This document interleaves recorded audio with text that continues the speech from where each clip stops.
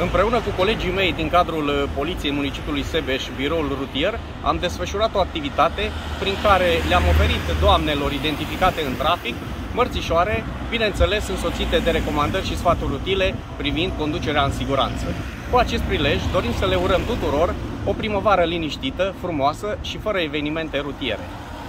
Inspector de poliție Florea Claudiu, împuternicit șeful biroului rutier Sebeș.